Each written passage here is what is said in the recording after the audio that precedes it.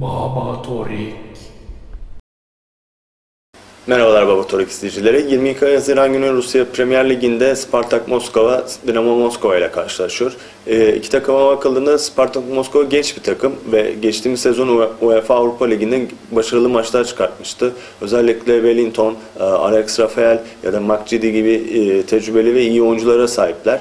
E, fakat e, tabii ki e, bu genç kadronun getirmiş olduğu da istikrarsız sonuçlar da var. Diğer taraftan Dinamo Moskova ise çok daha e, ciddi transferler yap- yapan ve büyük para harcayan bir kulüp. Fakat buna rağmen bir türlü istediği sonuçları da elde edemedi. E, özellikle Alman forvet Kevin Kuranyi, e, çok yakından tanıdığımız Misimovic, gene Ukrayna'nın e, forveti olan, e, bir ara Liverpool'da da oynamış olan Voronin gibi e, çok önemli isimlere sahipler. E, fakat buna rağmen de e, şu anda ligin dördüncü sırasındalar ve 23 puanları var. E, ve e, bir türlü beklenilen e, başarılar gelmedi Dinamo Moskova tarafından.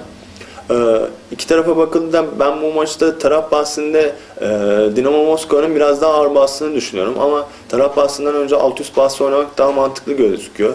E, çünkü e, iki tarafa da bakıldığında zor gol atan ve zor gol yiyen takımlar. E, mesela Dinamo Moskova 4. sırada olmasına rağmen 19 gol atabildi. E, diğer taraftan Spartak Moskova ise 8. sırada ve e, 15 gol yedi.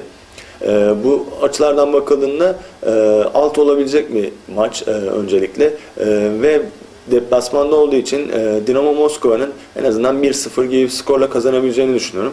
Taraf bahsinde Dinamo Moskova'ya e, şans vermekten veriyorum fakat e, öncelikle alt üst bahsi oynanmasını daha mantıklı görüyorum ve ben bu maçın alt biteceğini düşünüyorum. Baba Torik.